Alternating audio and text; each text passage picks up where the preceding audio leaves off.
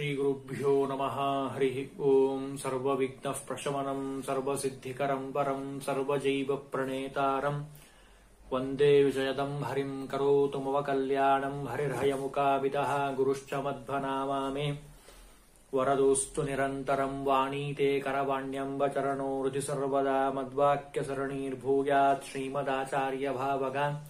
समाश्रयेद्गुरुम् भक्त्या महाविश्वासपूर्वकम् निक्षिपे सर्वभारांश्च ಗುರು ಶ್ರೀಪಾದಪಂಕಜೇ ಕೃಷ್ಣ ಪರಮಾತ್ಮ ಅರ್ಜುನನನ್ನ ಮುಂದಿಟ್ಟುಕೊಂಡು ಜ್ಞಾನದ ಸಂದೇಶವನ್ನ ಜಗತ್ತಿಗೆ ನೀಡುತ್ತಾ ಇದ್ದಾನೆ ನಿನ್ನೆ ದಿವಸ ಭಗವದ್ಭಕ್ತರ ಲಕ್ಷಣಗಳೇನು ಅಂತ ಕೃಷ್ಣ ಪರಮಾತ್ಮ ಹೇಳಿದ್ದಾನೆ ಇನ್ನು ಹದಿಮೂರನೇ ಅಧ್ಯಾಯದಲ್ಲಿ ಕ್ಷೇತ್ರ ಮತ್ತು ಕ್ಷೇತ್ರಜ್ಞ ಅಂತ ಎರಡು ವಿಭಾಗವನ್ನು ಮಾಡಿದ್ದಾರೆ.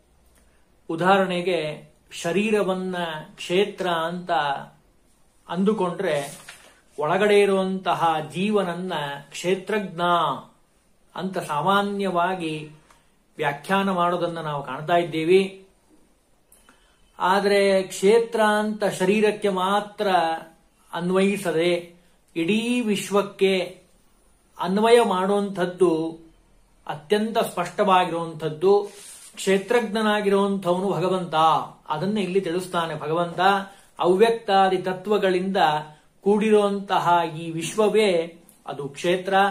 ಈ ವಿಶ್ವವನ್ನ ಸಮಗ್ರವಾಗಿ ಬಲ್ಲವಂತ, ಬಲ್ಲವನೇ ಅಥವಾ ಅದನ್ನ ನಿರ್ಮಾಣ ಮಾಡಿದಂಥವನು, ಸೃಷ್ಟಿ, ಸ್ಥಿತಿ, ಲಯವನ್ನ ಮಾಡುವಂಥವನು ಆ ಭಗವಂತ ಅವನನ್ನ ಕ್ಷೇತ್ರಜ್ಞ ಅಂತ ಕರೀತಾ ಇದ್ದಾರಪ್ಪ. ಕ್ಷೇತ್ರಜ್ಞಂ ಚಾಪಿ ಮಾಂ ವಿದ್ಧಿ ಸರ್ವಕ್ಷೇತ್ರೇಶು ಭಾರತ. ಭಗವಂತ ಸ್ಪಷ್ಟವಾಗಿ ಗೀತೆಯಲ್ಲಿ ತೋರಿಸ್ತಾನೆ, ಕ್ಷೇತ್ರಜ್ಞ ಕ್ಷೇತ್ರಜ್ಞ ಅಂತ ಕರೀತಾರೆ.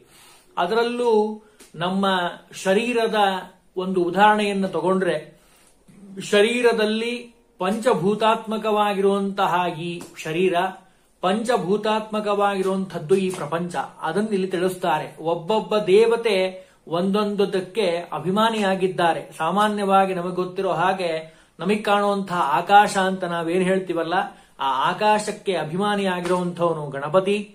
ಇನ್ನು ತೇಜಸ್ಸು, ಅದಕ್ಕೆ ಅಗ್ನಿ ಅಭಿಮಾನಿಯಾಗಿದ್ದಾನೆ. ಅಪ ಅಂದ್ರೆ ನೀರು, ಅದಕ್ಕೆ ವರುಣ.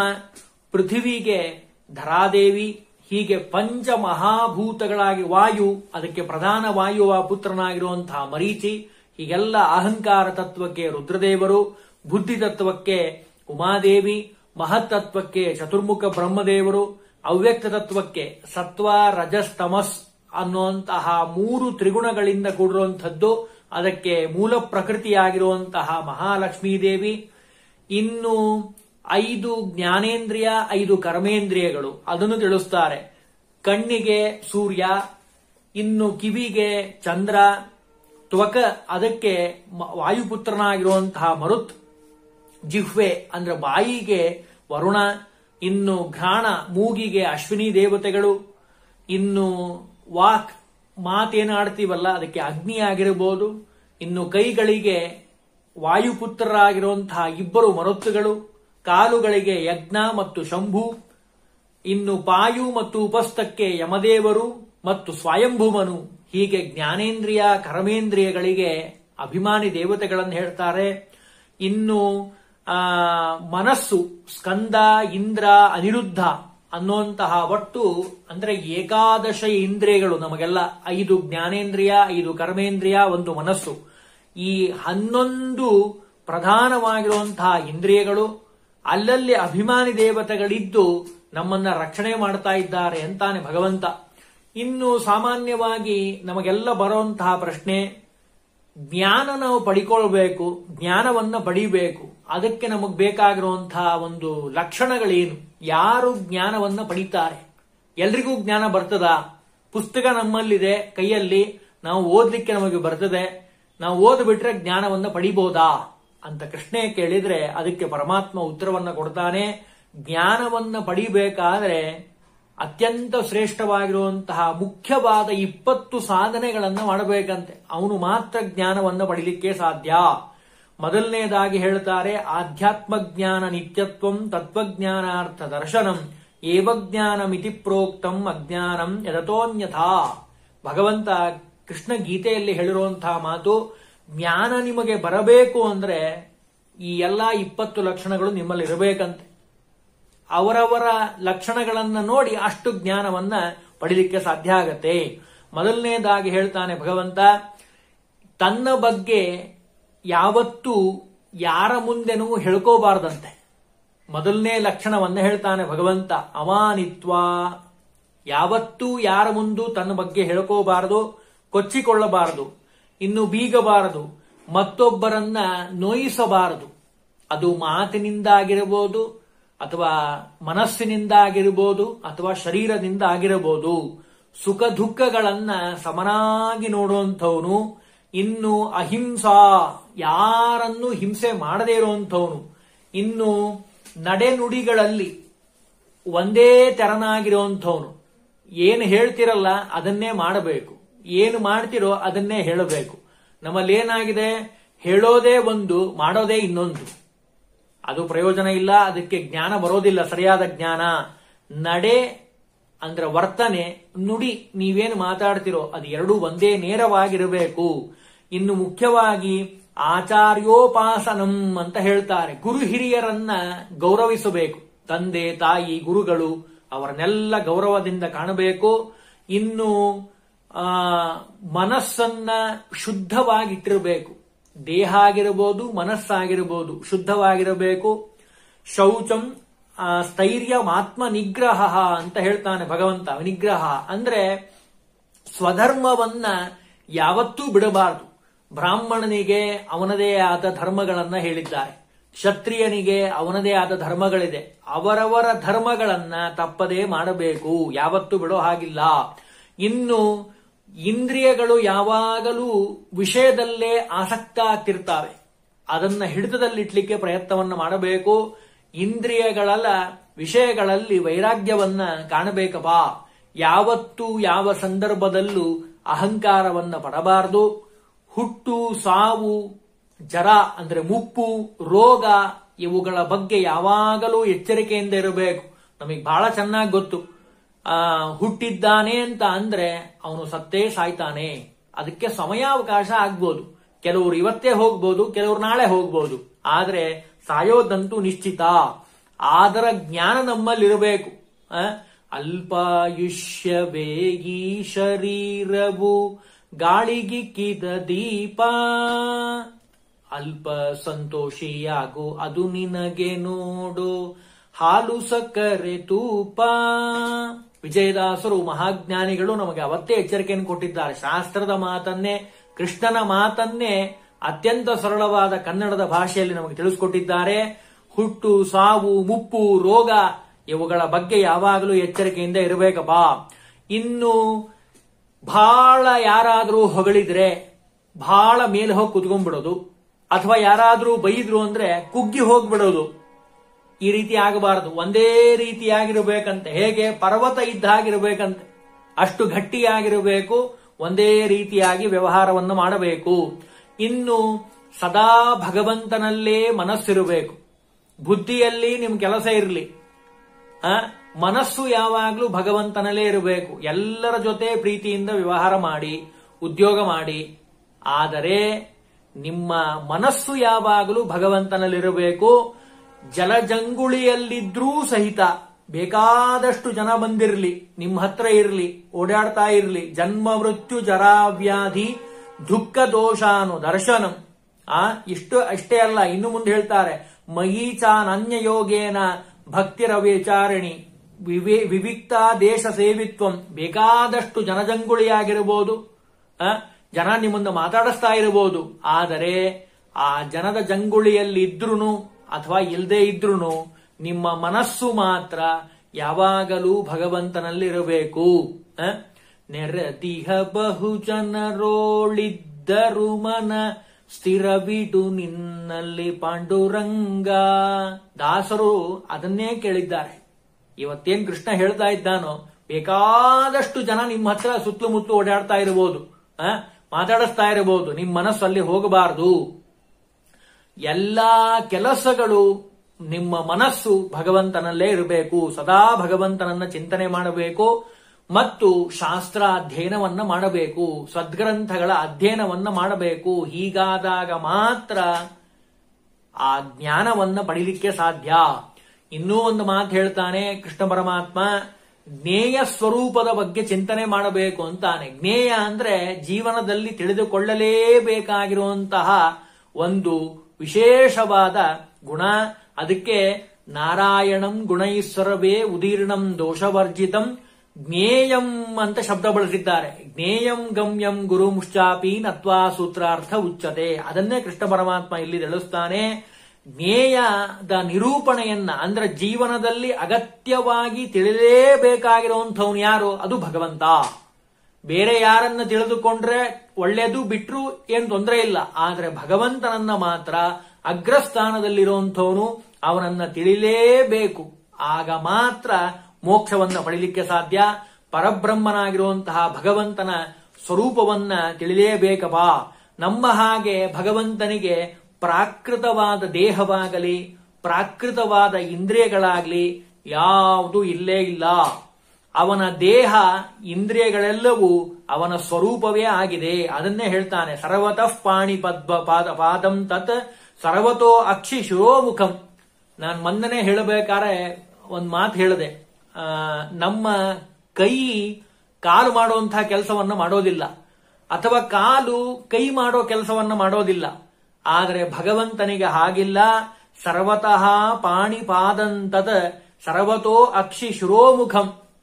ಅವನ ಕೈ, ಕಾಲು ನೇಹನ ನಾನಸ್ತಿ, ಕಿಂಚನ, ಯಾವ ಭೇದವೂ ಇಲ್ಲಪಾ ಅವನ ಒಂದೊಂದು ಇಂದ್ರಿಯವು ಇತರ ಇಂದ್ರಿಯಗಳ ಕಾರ್ಯದಲ್ಲೂ ಸಹಾಯವನ್ನು ಮಾಡುವಂಥವು ಪೂರ್ಣವಾಗಿರುವಂಥವು. ನಮ್ಮ ಹಾಗೆ ಅವನಿಗೆ ಅವಯವ ಇಲ್ಲ, ಅವೆಲ್ಲವೂ ಪೂರ್ಣವಾಗಿರುವಂಥವು. ಸ್ವಚ್ಛಿದಾನಂದ ಮೂರ್ತಿಯಾಗಿರುವಂಥವನು ಭಗವಂತ. ಸರ್ವೇಂದ್ರಿಯ ಅಂದ್ರೆ ಆ ಭಗವಂತನ ಸ್ವರೂಪವನ್ನು ವರ್ಣನೆ ಮಾಡ್ತಾರೆ. ಜ್ಞಾನಂ, ಜ್ಞೇಯಂ, ಜ್ಞಾನಗಮ್ಯಂ, ಹೃದಿ ಸರ್ವಸ್ವ ವಿಷ್ಟಿತಂ ಇತಿ ಕ್ಷೇತ್ರಂ ತದಾ ಜ್ಞಾನಂ ಜ್ಞೇಯಂ ಚೋಕ್ತ ಸಮಾಸತಃ ಅಂದ್ರೆ ಈ ರೀತಿಯಾಗಿ ಚಿಂತನೆ ಮಾಡಬೇಕಂತೆ. ಅಂದ್ರೆ ಎಲ್ಲರಿಗಿಂತ ಎತ್ತರದಲ್ಲಿರುವಂಥವನು, ಸರ್ವ ಪ್ರಾಣಿಗಳ ಹೃದಯದಲ್ಲಿ ವಾಸ ಮಾಡುವಂಥವನು, ಸ್ವಪ್ರಕಾಶನು, ಸ್ವರಾಟ್, ಸ್ವತಂತ್ರನಾಗಿರುವಂಥವನು, ಜ್ಞಾನಕ್ಕೆ ಮಾತ್ರ ಗೋಚರನಾಗುವಂಥವನು, ಭಕ್ತಿಗೆ ಸಿಲುಕುವಂಥವನು ಅಷ್ಟು ಸುಂದರವಾಗಿ ಕೃಷ್ಣ ಪರಮಾತ್ಮ ಪ್ರಕೃತಿಂ ಪುರುಷಂ ಚೈವ. ಆ ರೀತಿಯಾಗಿ ಆ ಭಗವಂತನ ಸ್ವರೂಪವನ್ನ ವರ್ಣನೆ ಮಾಡ್ತಾರೆ. ಈ ಪ್ರಕೃತಿ ಮತ್ತು ಪುರುಷ ಎರಡು ರೂಪದಿಂದ ಇದೆ. ಪ್ರಕೃತಿ ಮತ್ತು ಪುರುಷ. ಆ ಭಗವಂತನ ಜ್ಞಾನವನ್ನ ಹೊಂದಬೇಕು ಅಂದ್ರೆ ಭಕ್ತಿಯಿಂದ ಮಾತ್ರ ಸಾಧ್ಯ ಅಂತ ಹೇಳ್ದ ಭಗವಂತ. ಇನ್ನು ಬ್ರಹ್ಮಜ್ಞಾನವನ್ನ ಹೊಂದಬೇಕು ಅಂತ ಅಂದ್ರೆ ನಮ್ಮಲ್ಲಿ ಏನಿರಬೇಕು? ಮುಖ್ಯವಾಗಿ ಅಂತ ಪ್ರಶ್ನೆಯನ್ನ ಕೇಳಿದ್ರೆ ಒಂದು ಉತ್ತರವನ್ನ ಕೊಡ್ತಾನೆ ಭಗವಂತ ಇಲ್ಲಿ. ಶ್ರವಣ, ಮನನ ಎರಡೂ ಇರಬೇಕು. ಅತ್ಯಂತ ಶ್ರೇಷ್ಠವಾಗಿರುವಂಥದ್ದು. ನೀವೇನು ಶ್ರವಣವನ್ನು ಮಾಡ್ತಿರೋ ಅದನ್ನ ಮನನ ಮಾಡಬೇಕು. ಆ ಮನನ ಮಾಡಿದ್ದನ್ನ ಕಾರ್ಯರೂಪದಲ್ಲಿ ತರಬೇಕು. ಹಾಗಾದಾಗ ಮಾತ್ರ ಅದು ಭಗವಂತನನ್ನ ಕಾಣಲಿಕ್ಕೆ ಸಾಧ್ಯ. ಕಾರ್ಯಕಾರಣ ಕರ್ತೃತ್ವೇ ಹೇತು ಪ್ರಕೃತಿ ಪ್ರಕೃತಿರುಚ್ಯತೆ. ಪುರುಷಃ ಸುಖ ದುಃಖಾನ ಭೋಕ್ತೃತ್ವೇ ಹೇತುರುಚ್ಯತೆ. ಕೃಷ್ಣ ಪರಮಾತ್ಮ ಎಷ್ಟು ಸುಂದರವಾಗಿ ಹೇಳ್ತಾ ಇದ್ದಾನೆ ನೋಡ್ರಿ. ಅಂದ್ರೆ ನಾವು ಕೇವಲ ಶ್ರವಣ ಮಾಡೋದಷ್ಟೇ ಅಲ್ಲ, ಉಪನ್ಯಾಸವನ್ನ ಭಕ್ತಿಯಿಂದ ಕೇಳಬೇಕು ಅನ್ನೋದು ಎಷ್ಟು ಮುಖ್ಯನೋ, ಕೇಳಿದ ಮೇಲೆ ಮನೆಗೆ ಹೋಗಿ ಅದನ್ನ ಆಚರಣೆ ಮಾಡಬೇಕು ಅನ್ನೋದು ಅಷ್ಟೇ ಮುಖ್ಯ. ಇಲ್ಲಾಂದ್ರೆ ಕೇಳಿದ್ದಕ್ಕೆ ಪ್ರಯೋಜನ ಉಳಿಯೋದೇ ಇಲ್ಲ. ಕೇಳಿದ ಮೇಲೆ ಭಗವಂತನಲ್ಲಿ ಭಕ್ತಿ ಉಂಟಾದ ಮೇಲೆ ಭಕ್ತಿಯಿಂದ ಭಗವಂತನ ಪೂಜೆಯನ್ನು ಮಾಡೋದು ನಮ್ಮ ಅತ್ಯಂತ ಮುಖ್ಯವಾದ ಕರ್ತವ್ಯ.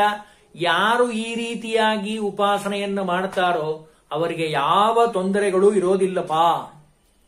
ಎಷ್ಟರ ಮಟ್ಟಿಗೆ ಅಂದ್ರೆ, ಆ, ಕರ್ಜಗಿದಾಸರು ಒಂದ್ ಕಡೆ ಹೇಳ್ತಾರೆ, ತಾಪತ್ರಯಗಳು ನಿನಗಿಲ್ಲ, ಪುಣ್ಯ ಪಾಪಕ್ಕೆ ಲೇಪನ ಗೊರೆ ಹೊಲ್ಲ, ಪ್ರಾಪಕ ಸ್ಥಾಪಕ ಹರಿಯಲ್ಲ ಜಗದ್ವ್ಯಾಪಕ ನೆಂದರಿತರೇಗಿಲ್ಲ ಅಂಜ ಬ್ಯಾಡ ಬ್ಯಾಡೆಲು ಜೀವ.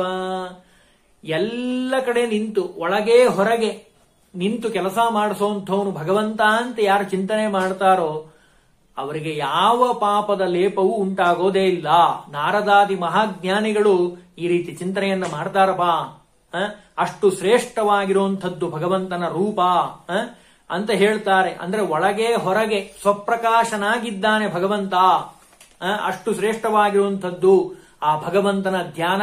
ಆ ಭಗವಂತನ ಧ್ಯಾನವನ್ನು ಯಾರು ಮಾಡ್ತಾರೋ ಎಲ್ರಿಗೂ ಗೊತ್ತಿಲ್ಲ. ಜ್ಞಾನಿಗಳ ಮುಖದಿಂದ ತಿಳಿದು, ತಿಳಿದುಕೊಳ್ಳಬೇಕಂತೆ. ಧ್ಯಾನವನ್ನು ಮಾಡೋ ವಿಧಾನವನ್ನ. ಜ್ಞಾನ, ಧ್ಯಾನ, ಕರ್ಮಯೋಗಗಳ ಒಂದು ಸಂಯೋಗದಿಂದ ಆ ಭಗವಂತನನ್ನ ತಿಳಿಲಿಕ್ಕೆ ಸಾಧ್ಯವ?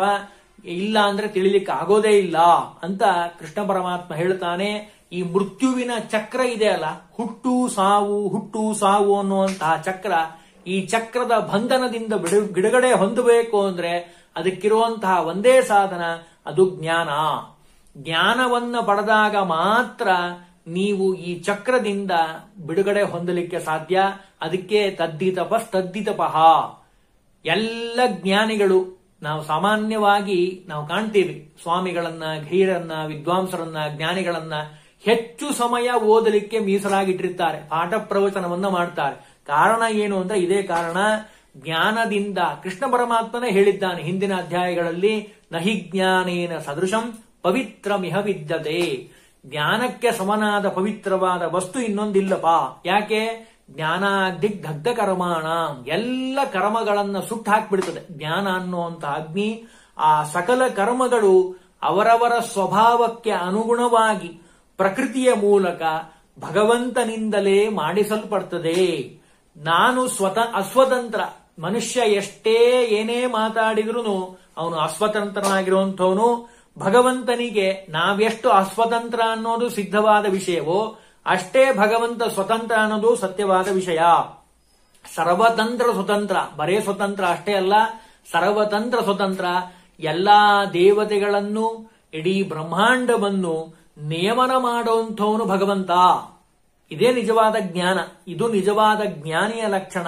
ಇಂತಹ ಜ್ಞಾನವನ್ನ ಯಾರು ಪಡಿತಾನೋ ಅದನ್ನಿಲ್ಲಿ ಹೇಳ್ತಾರೆ. ತೇಪಿ ಚಾಂತಿತ ತೇವ ಮೃತ್ಯುಂ ಶ್ರುತಿಪರಾಯಣ ಈ ರೀತಿಯಾಗಿ ಯಾರು ತಿಳಿತಾನೋ ಅವನು ಮುಕ್ತಿ ಯೋಗ್ಯನಾಗಿದ್ದಾನೆ ಯಥಾ ಪ್ರಕಾಶತ್ಯೇಕ. ಕೃಷ್ಣ ಪರಮಾತ್ಮ ಶ್ಲೋಕದಲ್ಲಿ ವಿಸ್ತಾರವಾಗಿ ಹೇಳ್ತಾನೆ, ಶರೀರಸ್ಥೋಪಿ ಕೌಂತೆಯ ನಕರೋತಿ ನ ಲಿಪ್ಯತೆ ಶರೀರದಲ್ಲಿರುವಂತಹ ಕೇವಲ ಶರೀರ ಏನು ಮಾಡಲಿಕ್ಕೆ ಸಾಧ್ಯ ಇಲ್ಲಪ್ಪ? ಭಗವಂತ ಒಳಗಡೆ ನಿಂತು ಅದನ್ನ ಕೆಲಸ ಮಾಡುವಂಥವನು ಭಗವಂತ ಅನಾದಿಯಾಗಿದ್ದಾನೆ ತ್ರಿಗುಣ ರಹಿತನಾಗಿದ್ದಾನೆ ನಾಶರಹಿತನಾಗಿದ್ದಾನೆ. ಎಲ್ಲಿದ್ದರೂ, ಯಾರೊಳಗಿದ್ದರೂ ಸುಖ ದುಃಖಾದಿಗಳು ಅವನಿಗೆ ಅಂಟೋದೇ ಇಲ್ಲ. ಅವನು ಎಲ್ಲ ಕಡೆ ಇದ್ದಾನೆ, ಎಲ್ಲವನ್ನೂ ಮಾಡಿ, ಏನೂ ಮಾಡದವನು ಅನ್ನೋ ಹಾಗಿದ್ದಾನೆ. ಗಗನ ಅಂದ್ರೆ ಆಕಾಶ ಎಲ್ಲ ಕಡೆ ವ್ಯಾಪಿಸಿದೆ. ಹಾಗೆ ವ್ಯಾಪಿಸಿರುವಂಥವನು ಭಗವಂತ. ಒಬ್ಬ ಸೂರ್ಯ ಎಲ್ಲ ಲೋಕವನ್ನ ಹೇಗೆ ಬೆಳಗ್ತಾನೋ ಹಾಗೆ ಒಬ್ಬನೇ ಭಗವಂತ ಎಲ್ಲ ಕಡೆ ಬೆಳಗ್ತಾ ಇದ್ದಾನೆ. ಅನಾದಿ ನಿತ್ಯನಾಗಿರುವಂಥವನು ಭಗವಂತ. ಈ ರೀತಿಯಾಗಿ ಯಾರು ಉಪಾಸನೆಯನ್ನ ಮಾಡ್ತಾರೋ ಭೂತ ಪ್ರಕೃತಿ ಮೋಕ್ಷಂಚ ಏ ವಿದುರ್ಯಾಂತಿತೇ ಪರಂ. ಈ ರೀತಿಯಾಗಿ ಯಾರು ಚಿಂತನೆ ಮಾಡ್ತಾರೋ ಅವರಿಗೆ ಭಗವಂತನ ಅನುಗ್ರಹ ಆಗ್ಲಿಕ್ಕೆ ಸಾಧ್ಯ. ಅವನು ಭಗವಂತನನ್ನ ಕಾಣ್ತಾನೆ. ಈ ಪ್ರಕೃತಿ ಬಂಧನದಿಂದ ಬಿಡುಗಡೆ ಹೊಂತಾನೆ ಅಂತ ಕೃಷ್ಣ ಪರಮಾತ್ಮ ಈ ರೀತಿಯಾಗಿ ಜ್ಞಾನ ಸಂದೇಶವನ್ನು ನೀಡಿದ್ದಾನೆ. ಇನ್ನು ಹದಿನಾಲ್ಕನೇ ಅಧ್ಯಾಯ ಗುಣತ್ರಯಗಳ ವಿವರ. ಅದನ್ನು ಮುಂದಿನ ವಾರ ನೋಡ್ಲಿಕ್ಕೆ ಪ್ರಯತ್ನವನ್ನು ಮಾಡೋಣ.